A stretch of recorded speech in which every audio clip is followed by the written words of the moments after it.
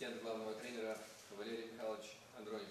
Валерий Михайлович, пожалуйста, комментарии к игре, после чего вопросы, есть будут. Свій факт скорт. Suntem cu toții dezamăgiți și nu am ce comenta mai mult. Mult succes!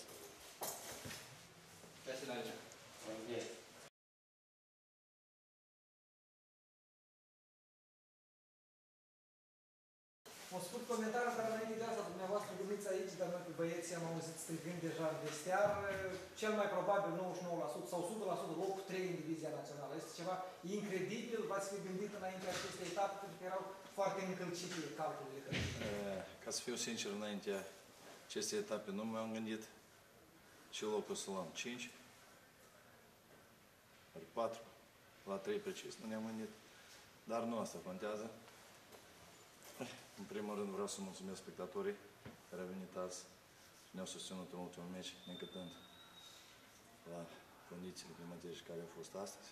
Vreau să mulțumesc băieții din suflet pentru acest sezon.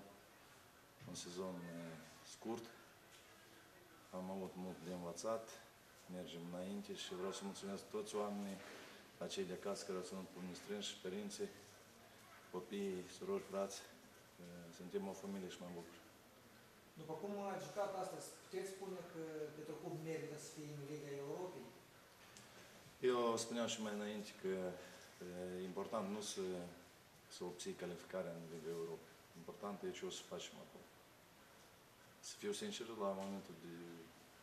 Am spus, nu mă refer la alte echipe, nu mă refer la echipa, nu suntem implicate de cupele europene. Nu avem meciuri în picioare tare.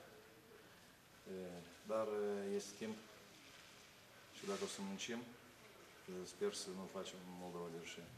Astăzi, de asemenea, este prima victorie în istorie a Petrocubului în fața Zimbrului. Până atunci au fost 8 meciuri, 5 victorii Zimbru, 3 rezultate de egalitate. Nu știu, n-am urmărit istoria, dar important este ce avem. Nu putem să trăim cu istoria, cu trecutul. Important ce este la ziua de azi și cred că am eh, meritat această victorie. Băieții, încă o dată le mulțumesc, s-au dorit la maxim și au făcut faze foarte bune astăzi.